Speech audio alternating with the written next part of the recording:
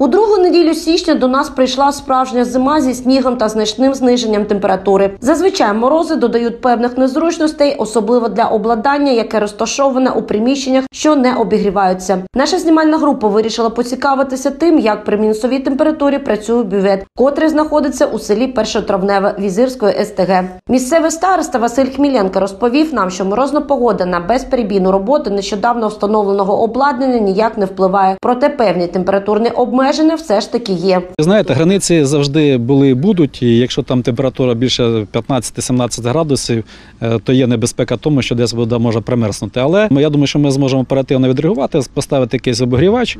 Там кімнатка невелика, і зможемо його. Поки проблем немає. Поки все працює нормально, 10-12 витримує.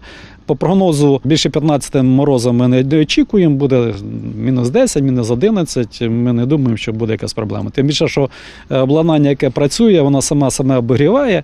В кімнаті там, ну я не скажу, що там тепло, але там за що того, що працює оборудовання, фільтра, там електромотори, там температура є, воно, воно перекачує воду, і поки, поки проблеми ніяких не бачу. Бювет у першотравневому за час своєї праці вже набирав неабиякої популярності серед жителів села. За словами Василя Хміленка, спочатку сельчани не дуже активно користувалися ним, але згодом жителі села помітили різницю між звичайною водою з крана та очищеною. Під час нашої зйомки, коли на вулиці була мінусова температура, ми побачили чимало людей, які, незважаючи на мороз, прийшли за очищеною водою. Почему? Потому что это, честно сказать, как дар Божий.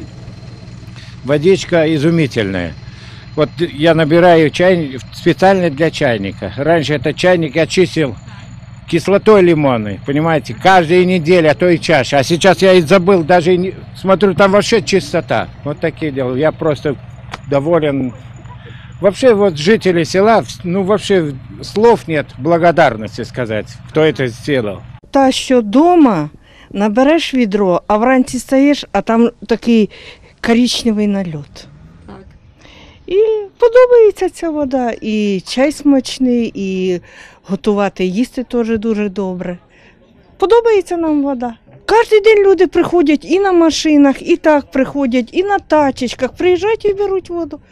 Половина подобається, половина не подобається. Ну, як це як кому? Нам, наприклад, подобається. За словами старости, все обладнання бювету працює безперебійно. За це Василь Хміленко вдячний підрядній організації, яка його встановлювала. Проте на випадок будь-яких технічних несправностей є необхідний витратний матеріал та навчений персонал для їх усунення.